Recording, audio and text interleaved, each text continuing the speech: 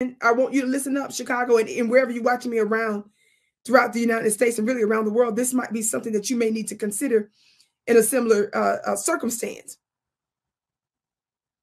And that is this. Let me read this part before I give you my two cents. It says, while city officials on Tuesday dismissed the notion of an outbreak at the shelter, it says there have been clusters of illness at other shelters where people sleep on cots close to each other, including chicken pox and hand, foot, and mouth disease. Now, he's admitting this. And then you see one of the other legislators that say, hey, if we're going to welcome them, we need to welcome them to the health department first because of the dangers of diseases crossing the border. Watch this. The question becomes, Mr. Mayor, when did you know this?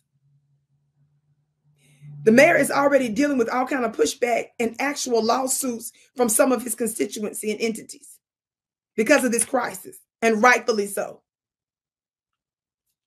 Now I'm saying, hint, hint, Chicago. I'm wondering if you all should talk to the appropriate legal minds as to whether or not the city should also be liable for knowingly and willfully putting their constituency in harm's way. They should have had a reasonable duty to prevent some of this. Did they disclose to the public now that he's doing all this admission that they're showing up sick? Now they fighting you, telling you that they don't even want you to have the right to vote on whether or not your city can be a sanctuary city. Hello, Chicago.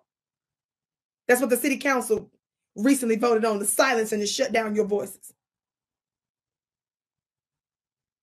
They've been maligning you in the media.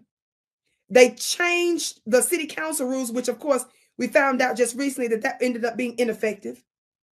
But they nevertheless still changed the rules. I just wanted you to see the undemocratic uh, uh, uh, links that they'll go to to shut you down.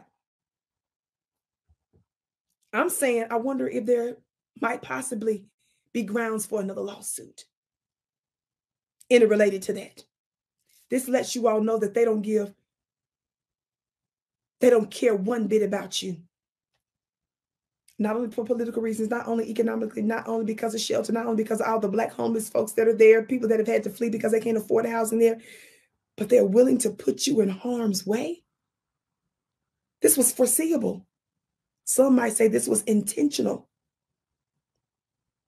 I'm just throwing that out there.